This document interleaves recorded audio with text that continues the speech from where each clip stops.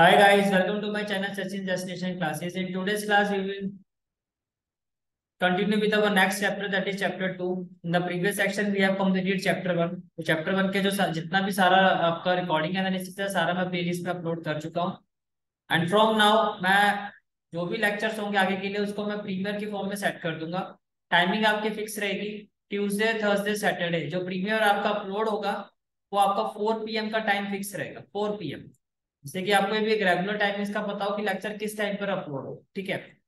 तो चलिए आज के चैप्टर की बात करते हैं।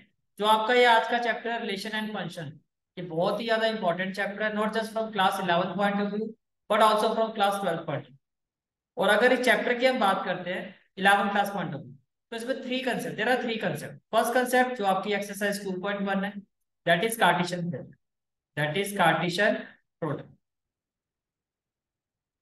then next concept relation relation ये आपकी होगी exercise 2.2 and then final concept जो है आपका वो है फ़ंक्शन ये आपकी एक्सरसाइज है 2.3 मींस एक्सरसाइज 2.1 में हम जो कंसेप्ट स्टडी करेंगे that is Cartesian product Cartesian product क्या होता है? किस तरह से इसको फाइंड किया जाता है? ये सारा हमारा आज की क्लास में रहेगा, ठीक है? फिर हम एक्सरसाइज 2.2 में मूव करेंगे, जिसका कंसेप्ट है रिलेशन और फिर हम एक्सरसाइज 2.3 एंड देन मिस्टिंग जिसमें मिक्स क्वेश्चंस होते हैं सारे। तो चलिए आज का कंसेप्ट शुरू करते हैं। आज का जो कंसेप्ट है हमारा that is working with Cartesian product जैसे कि मैंने कहा कार्टिशन प्रोडक्ट कार्टिशन प्रोडक्ट को समझना ज़रूरी है रिलेशन को समझने के लिए। तो बेसिकली आप ये समझो कि this is the base Cartesian product जब कंसेप्ट आपको क्लियर हो जाएगा, फिर आपको रिलेशन भी समझ में आ जाएगा और रिलेशन के थ्रू फिर आपको फ़ंक्शन भी समझ में आ जाएगा। दिस इज़ द बेस अब कार्टिशन प्रोडक्ट होता क्या है? कार्टिशन प्रोडक्ट यहाँ पे प्रोडक्ट किस चीज़ का कर रहे हैं? यहाँ पर हम दो सेट का प्रोडक्ट फाइंड करें जब हम दो सेट का प्रोडक्ट फाइंड करते हैं तो उसको क्या कहते हैं? कार्टिशन प्रोडक्ट जैसे कि फॉर एग्जांपल यहाँ पर एक सेट ए है जिसके एलिमेंट वन कॉमा टू है, और एक सेट बी है जिसके एलिमेंट है ए और तो आपने इन दोनों का प्रोडक्ट फाइंड किया, जिसको हम कहते हैं ए क्रॉस बी इसको मैथमेटिकली कैसे रिलेट किया जाता है? ए क्रॉस बी जब हम दो सेट का प्रोडक्ट फाइंड करते हैं, इसी को कहते हैं कार्टिशन प्रोडक्ट तो सेट ए के जो एलिमेंट है वो है वन कोमा टू और आपने सेट बी को लिखा ए कोमा अब दो सेट का जो प्रोडक्ट होता है, ये नॉर्मल प्रोडक्ट की तरह फाइंड नहीं किया जाता। लाइक वन कोमा फाइव जब वन इंटू फाइव करते हो तो फाइव होता है टू इंटू फाइव होता है टेन होता है। यहाँ पर ऐसा नहीं होता है। जब हम दो सेट का प्रोडक्ट फाइंड करते हैं तो प्रोडक्ट करने के बाद जो आपको रिज़ल्ट मिलेगा, वो भी एक सेट ही हो। फिर से रिपीट कर रहा हूँ। जब हम दो सेट का कार्टिशियन प्रोडक्ट फाइंड करते हैं तो कार्टिशियन प्रोडक्ट फाइंड करने के बाद जो आपको रिज़ल्ट मिलता है, वो भी एक सेट होता है। वो भी क्या होता है? एक सेट फॉर एग्ज़ाम्पल ये आपका सेट ए है, ये आपका सेट बी है। दोनों का आपने क्रॉस प्रोडक्ट फाइंड किया। अब इन दोनों का क्रॉस प्रोडक्ट फाइंड करने के बाद जो आपको सेट मिलेगा, जो आपको रिज़ल्ट मिलेगा, जो इनका प्रोडक्ट आएगा, वो भी एक सेट अब वो बनता कैसे है? अब ये कैसे हम क्रॉस प्रोडक्ट फाइंड करते हैं? देखो जब हम दो सेट का क्रॉस प्रोडक्ट निकालते हैं तो जो आंसर आएगा वो आपका सेट आएगा और उसके जो एलिमेंट्स होंगे वो ऑर्डर पेयर में लिखे जाते हैं। फिर से रिपीट कर रहा हूँ, जब हम दो सेट का क्रॉस प्रोडक्ट फाइंड करते हैं तो जो आंसर आता है वो एक सेट होता है और जो रिज़ल्ट होता है वो भी, वो जो वो सेट बनता है, उसके जो एलिमेंट्स होते हैं वो ऑर्डर पेयर्स में लिखे जाते हैं। कैसे लिखे जाते हैं देखो वन के साथ आप ए को करो तो वन क्रॉस ए क्या बनेगा? आपका एक ऑर्डर पेयर बनेगा वन कॉमन ऐसे वन को जब हम बी के साथ क्रॉस करेंगे तो आपका आंसर क्या होगा? एक ऑर्डर पेयर होगा वन कॉमा बी इसी तरह से जब आप एलिमेंट टू को ए के साथ क्रॉस करोगे तो आपका जो आंसर होगा, वो एक ऑर्डर पेयर होगा टू कॉमा ए इसी तरह से जो एलिमेंट टू को जब आप क्रॉस करोगे बी के साथ तो आपका आंसर होगा एक order pair two comma B B जब हम दो सेट का क्रॉस प्रोडक्ट करते हैं तो जो आंसर होता है, वो भी एक सेट होता है, और उस सेट के जो एलिमेंट्स होता है, वो एक ऑर्डर पेयर जैसे कि आप यहाँ देख सकते हो, जब आपने ए सेट ए को क्रॉस किया सेट बी के साथ, जो आपका आंसर है वो पी क्या है, एक सेट ही है, लेकिन उसके जो एलिमेंट्स हैं वो किस फॉर्म में है? वो ऑर्डर पेयर की फॉर्म और वो कैसे बना? One A one comma A first order pair one comma B second order फिर two comma A second order next order pair and two comma B next order तो जब दो सेट का, यहाँ तक आपको क्या समझ में आ गया होगा? कि जब हम दो सेट का क्रॉस प्रोडक्ट फाइंड करते हैं तो जो आपका रिज़ल्ट आता है वो भी एक सेट होता है बट द डिफरेंस इज़ जो उसके एलिमेंट्स uh, होंगे वो आपके ऑर्डर पेयर्स की फॉर्म वो आपके जो एलिमेंट्स होंगे वो किस फॉर्म में होंगे वो ऑर्डर पेयर्स की फॉर्म में होंगे। यहाँ समझ में आ रहा है? अच्छा दूसरी बात ये कि ए बी ऑर्डर पेयर जो होता है वो बी ए ऑर्डर पेयर के इक्वल नहीं होता है। और ये आपको ग्राफिकली पता है वन कॉमा टू का मतलब एक्स आपका वन है और वाई आपका टू तो क्या ये टू कॉमा वन के इक्वल हो सकता है? अगर मैं ग्राफिकली बनाता हूँ यहाँ पर। देखो, ये आपका हो गया वन ये आपका हो गया टू वन कॉमा टू ये वाला पॉइंट लेकिन अगर मुझे टू कॉमा वन को प्लॉट करना तो ये हो गया टू और ये हो गया आपका वन तो टू कॉमा वन ये वाला point it means A B order pair is not equal to B A order ये क्लियर हो गया? ठीक है? बट अगर क्वेश्चन में गिवन है कि दो ऑर्डर पेयर इक्वल है If it has been given in the question that two order pairs are equal then by law of equality then by law of equality we will say that a corresponding elements are equal. That is a is equal to x and b is equal to y. Then by law of equality, element a will be equal to x and element b will be equal to y.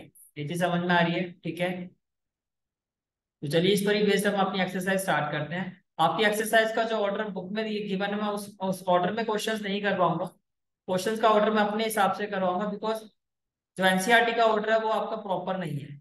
लेकिन at the end of जब हमारी exercise complete हो जाएँगी, आपके सारे question complete हो चुके हैं। ठीक है? तो देखो फ़र्स्ट क्वेश्चन क्या है आपका? If X by three plus one और Y minus two by three ये वाला जो ऑर्डर पेयर है आपका, वो अकॉर्डिंग टू द क्वेश्चन इस ऑर्डर पेयर के इक्वल है तो आपको एक्स और वाई की वैल्यू फाइंड कर जैसे कि अभी हमने डिस्कस किया है कि बाय लॉ ऑफ़ इक्वालिटी अगर दो ऑर्डर पेयर इक्वल होते हैं तो उनके कॉरस्पॉन्डिंग एलिमेंट जैसे ये एक्स एलिमेंट है तो ये एक्स एलिमेंट के इक्वल होगा? Mean X by three plus one will be equal to five by three and y minus 2 by 3 will be equal to 1 by 3 will be equal to 1 by 3 आपको x और y की value find करनी है। आपको x और y की value find करनी है। तो कैसे फाइंड करोगे देखो? फ़र्स्ट ऑफ़ ऑल जब मैं इसको सॉल्व करूँगा तो आपका एलसीएम क्या आ जाएगा? थ्री वन जा थ्री तो ये हो जाएगा X plus three by three equal to five by three three से थ्री कैंसिल हो जाएगा X plus three equal to क्या होगा? फाइव और एक्स की वैल्यू आ जाएगी। अब यहाँ देखो, जब इसको सॉल्व करोगे माइनस यहाँ शिफ्ट करोगे तो वाई इक्वल टू क्या हो जाएगा? One by three plus two by three यहाँ से आपका एल्सियम क्या आ जाएगा? थ्री और ये हो जाएगा two plus Y equal to क्या हो जाएगा? थ्री बाय थ्री और ये कैंसिल होके क्या आ जाएगा आपका? ये वन आ जाएगा। कैंसिल होके क्या आ जाएगा? आपका वन आ जाएगा। ये क्लियर हो गया? ठीक है। इसके बाद हम टू नहीं करेंगे। तो आपका जो क्वेश्चन हो गया फ़र्स्ट क्वेश्चन हो गया अब मैं सीधा आपको लेके जा रहा हूँ थर्ड क्वेश्चन थर्ड क्वेश्चन क्या है आपका? एक सेट जी आपको गिवन है, जिसके एलिमेंट है सेवन कॉमा एट और एक सेट एच आपको गिवन है, जिसके एलिमेंट है five comma four comma two फिर आपको कहा जा रहा है फाइंड करो जी क्रॉस एच और एच क्रॉस मीन्स आपको कार्टेशियन प्रोडक्ट फाइंड करना तो देखो सेट जी में जो एलिमेंट है, वो है seven comma eight set H में एलिमेंट है five comma four comma two आपको क्या फाइंड करना है? G cross H G cross H तो क्या हो जाएगा देखो सेवन के साथ फाइव तो ये फ़र्स्ट ऑर्डर पेयर हो गया। फिर सेवन के साथ four second order pair seven के साथ टू ये आपका थर्ड ऑर्डर पेयर इसी तरह से हम एट के साथ करेंगे। Eight cross five that is eight five eight cross four that is eight four eight cross two that is eight ये क्लियर हो गया? ये आपने फाइंड किया जी क्रॉस एच अब हम फाइंड करेंगे एच क्रॉस एच क्रॉस तो जब आप एच क्रॉस जी को फाइंड करो एच क्रॉस तो देखो, ये आपके सेट एच के एलिमेंट्स हैं, ये सेट एच है आपका, ये आपका सेट जी तो एच क्रॉस जी में क्या होगा? फाइव के साथ सेवन फाइव सेवन फाइव के साथ एट फाइव एट फोर के साथ सेवन फोर सेवन फोर के साथ eight four then two seven two eight तो ये हो गया टू सेवन टू एट ये क्लियर हो गया? ठीक है? अब आप एक चीज़ देखो, क्या जी क्रॉस एच क्या आपका G cross H H cross G के इक्वल है? नहीं है। तो यहाँ से आपको ये समझ में आ गया होगा कि ए क्रॉस बी जो है आपका, वो बी क्रॉस ए के इक्वल नहीं होता है। क्लियर हो गया? इसके अलावा यहाँ से एक प्रॉपर्टी और आपकी बनती है इस कंसेप्ट से। वो प्रॉपर्टी ये बनती है कि जितने नंबर ऑफ़ एलिमेंट्स आपके जी क्रॉस एच में है, जितने नंबर ऑफ़ एलिमेंट्स आपके जी क्रॉस एच में है, उतने नंबर ऑफ़ एलिमेंट्स आपके एच क्रॉस जी में होंगे। दो सेट का प्रोडक्ट में एलिमेंट्स का मतलब क्या होता है? ऑर्डर पेयर पहले आप देखो कि जी क्रॉस एच में कितने एलिमेंट्स है। जी क्रॉस एच में कितने एलिमेंट्स है one two three four five six उसके बाद देखो एच क्रॉस जी में कितने एलिमेंट्स हैं? One two three four five six तो जितने number of element G cross H में है, उतने नंबर ऑफ़ एलिमेंट्स आपके एच क्रॉस जी में है। पहले तो ये चीज़ क्लियर हो गया आपको, ठीक है? और उतने ही नंबर ऑफ़ एलिमेंट्स आपके number of elements in set G into number of elements H में भी होते हैं। तो ये भी चेक कर लेते हैं। सेट जी में कितने एलिमेंट्स हैं? सेट जी में आपके एलिमेंट्स है टू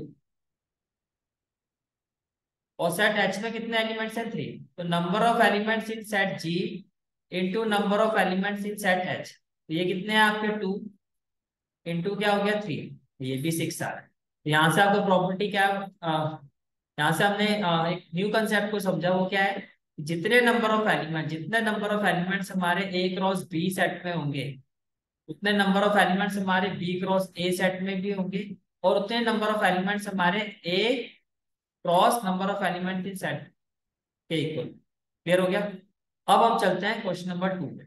अब हम चलते हैं क्वेश्चन नंबर टू तो क्वेश्चन नंबर वन हो गया थ्री हो गया टू देखो क्या if the set A has three element आपको कहा जा रहा है सेट ए में थ्री एलिमेंट और सेट बी में एलिमेंट है थ्री फोर फाइव तो find the number of element in A cross B तो अभी हमने क्या देखा? अभी हमने प्रॉपर्टी पढ़ी कि number of elements in A cross B is equal to number of elements in set A into number of element in set B तो सेट ए में कितने एलिमेंट है? थ्री तो ये हो जाएगा आपका, ये वाला पार्ट हो जाएगा थ्री इनटू सेट बी में कितने एलिमेंट है? वन टू थ्री ये भी थ्री है.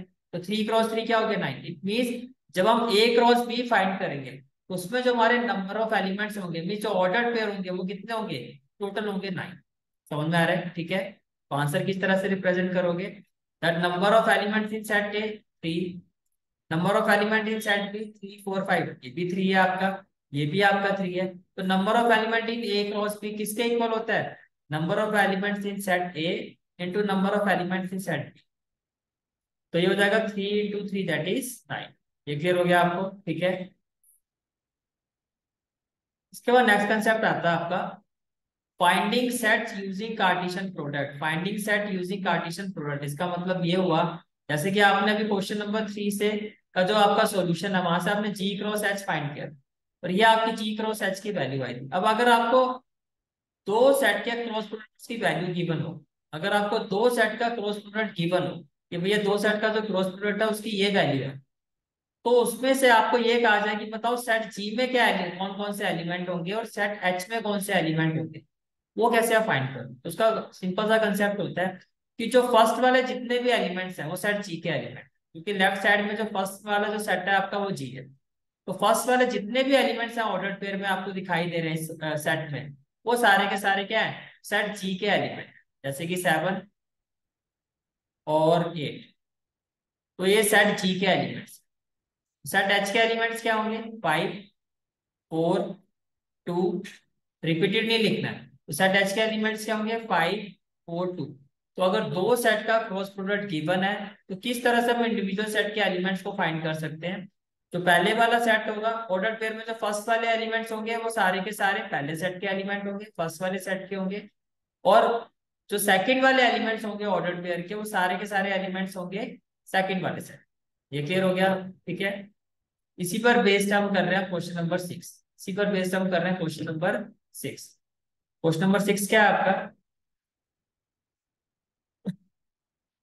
Number six is if A cross B is equal to A X A Y B X D Y mean आपको दो सेट का क्रॉस प्रोडक्ट गिवन है। फिर आपको कहा जा रहा है कि बताओ सेट ए और सेट बी के, की वैल्यू क्या है? तो देखो सेट ए क्या होगा आपका? जो फ़र्स्ट वाले एलिमेंट है ऑर्डर पेयर के ए और बी सेट ए के एलिमेंट्स क्या होंगे?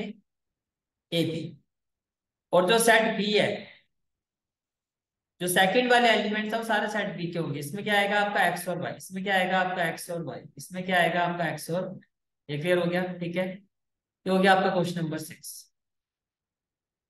question number six भी हो गया। इसके बाद हम करेंगे question number nine question number तो क्वेश्चन नंबर नाइन देखो क्या है? Let A and B be the two sets such that number of element in set A equal to 3 and number of element in set B equal to 2. Number of elements in set B equal to 2. Then if x1, y2, z1 are in A cross B, तो find A and B where x, y and z are distinct element. तो आपको ये कहा जा रहा है कि set A में कौन से एलिमेंट होंगे फाइंड ए और बी ए सेट की वैल्यू बता बतानी तो देखो सेट ए में कितने एलिमेंट है थ्री सेट बी में कितने एलिमेंट है? टू तो सिंपल सी बात है, जो ऑर्डर पेयर के फ़र्स्ट वाले एलिमेंट है, वो सेट ए के हैं। तो सेट ए में कौन कौन से एलिमेंट होंगे? एक्स वाई और जेड और ऑर्डर पेयर में जो राइट वाले एलिमेंट है, ये ये आपके सेट बी के लाइक वन और टू तो सेट बी में कौन से एलिमेंट होंगे? वन कॉमन टू यही आपको कहा गया था कि अगर ए क्रॉस बी में ये आपका रिज़ल्ट आ रहा है तो सेट ए बताओ क्या होगा और सेट बी क्या होगा। तो सेट ए आपका फ़र्स्ट वाला सेट है ए क्रॉस बी में। ए क्रॉस बी में सेट ए जो है फ़र्स्ट वाला सेट है। तो जो भी रिजल्टेंट है, उसमें जो ऑर्डर पेयर के फ़र्स्ट वाले एलिमेंट है एक्स वाई और जेड वो सेट ए के एलिमेंट और जो राइट वाले एलिमेंट है सारे के सारे सेकंड वाले एलिमेंट है, जो ऑर्डर पेयर के, वो सेट बी के एलिमेंट होंगे, यही इसका सोल्यूशन क्वेश्चन नंबर नाइन भी कंप्लीट हो गया, ठीक है? फिर हम करेंगे question number five question number five question number five देखो क्या है। आपको एक सेट ए की वैल्यू गिवन है। आपको सेट ए की वैल्यू गिवन है माइनस वन कॉमा वन तो आपको कहा जा रहा है find A cross A cross जब क्रॉस प्रोडक्ट तीन बार निकाला जाता है तो किस तरह से निकाला जाता है? देखो, आपको सेट ए गिवन है, आपने फाइंड किया ए क्रॉस ए तो ए क्रॉस ए का मतलब minus one one cross minus one कैसे करना है? पहले माइनस वन माइनस वन हो जाएगा फ़र्स्ट ऑर्डर पेयर फिर माइनस वन वन हो जाएगा। देन वन माइनस वन हो जाएगा और वन वन हो जाएगा। ये आ गया आपका ए क्रॉस अब आपको फाइंड करना है ए क्रॉस ए क्रॉस ए यहाँ तक आपने फाइंड कर ठीक है? ए क्रॉस ए क्रॉस ए तो आप पहले इसकी पूरी वैल्यू ली ये वैल्यू लिख लिया आपने, ठीक है? क्रॉस में आपने लिखा ए ये आपकी वैल्यू होगी ए क्रॉस ए ये आपकी वैल्यू होगी ए क्रॉस ए और ये आपकी वैल्यू आ गई साथ में एक ठीक है? जब आप इसको सॉल्व करोगे तो देखो कैसे करोगे। ये पूरा एज इट इज़ रहेगा।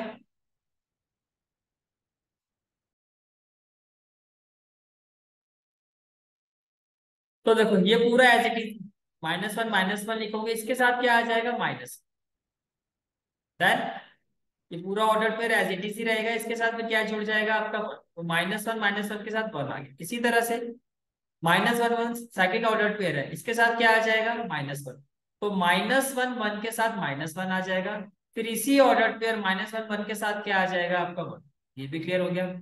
इसी तरह से नेक्स्ट ऑर्डर पेयर है वन कॉमा माइनस जब क्रॉस करोगे तो इसके साथ ही क्या आ जाएगा? माइनस वन तो वन माइनस वन के साथ आपका आ गया माइनस फिर इसी ऑर्डर पेयर के साथ क्या आ जाएगा आपका वन तो वन माइनस वन के साथ आ जाएगा वन देन ऑर्डर पेयर है वन कॉमा वन इसके साथ क्या आ जाएगा?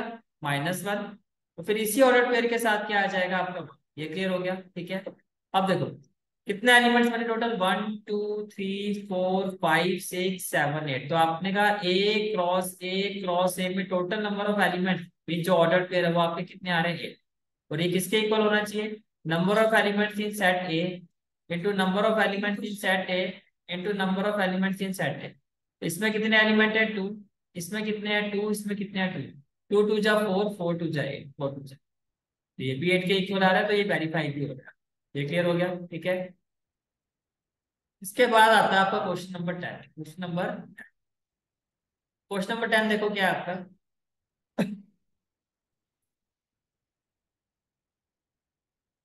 आपका क्वेश्चन नंबर टेन है। That the cartesian product A cross A has nine elements आपको ये कहा जा रहा है ए क्रॉस ए दो सेट का जो कार्टेशियन प्रोडक्ट है, उसमें कितने एलिमेंट है? Total nine element means total nine order among which are found इसमें से कुछ ऑर्डर पेयर आपको की बना जैसे कि माइनस वन कॉमा ज़ीरो और ज़ीरो कॉमा ज़ीरो कॉमा तो आपको कहा है सेट ए बताओ क्या? अब भाई, है तो दोनों एक ही सेट ए को ए के साथ ही कर रहे हो। तो सेट ए में ये तो क्लियर हो गया कि जब आप एक सेट को सेम सेट के साथ क्रॉस करोगे, उसमें नाइन एलिमेंट है तो दोनों में कितने कितने होंगे? थ्री इंटू थ्री अभी तो नाइन एलिमेंट्स आएँगे। अब वो नाइन एलिमेंट्स क्या क्या होंगे माइनस वन ज़ीरो और वन जो भी डिस्टिंक्ट एलिमेंट्स है, वो देखो क्या क्या एक माइनस वन एक ज़ीरो और एक वन तो माइनस वन ज़ीरो वन अब आपको कहा जा रहा है कि remaining element of A cross A remaining element तो इसके लिए आपको क्या करना है? First of all A cross A आपको गिवन था। इसकी हेल्प से आपने सेट ए की वैल्यू फाइंड कर भाई, दोनों में थ्री और थ्री एलिमेंट्स होंगे। थ्री एलिमेंट्स क्या होंगे? माइनस वन ज़ीरो और वन क्या होंगे? माइनस वन ज़ीरो और वन यहाँ तक क्लियर हो गया? ठीक है। अब आपने फाइंड किया ए क्रॉस ए अब आपने क्या फाइंड किया? ए क्रॉस ए जब आपने ए क्रॉस ए फाइंड किया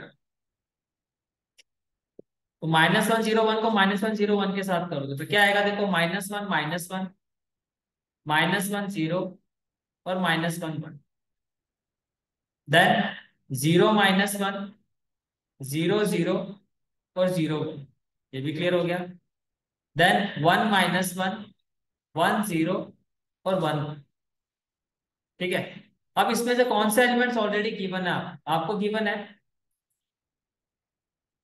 Minus one zero minus one zero आपको गिवन है और ज़ीरो वन गिवन तो आपको पूछा गया था रिमेनिंग एलिमेंट्स कौन कौन से होंगे? तो इन दोनों को छोड़ के बाकी सारे रिमेनिंग एलिमेंट्स तो रिमेनिंग एलिमेंट्स क्या होंगे?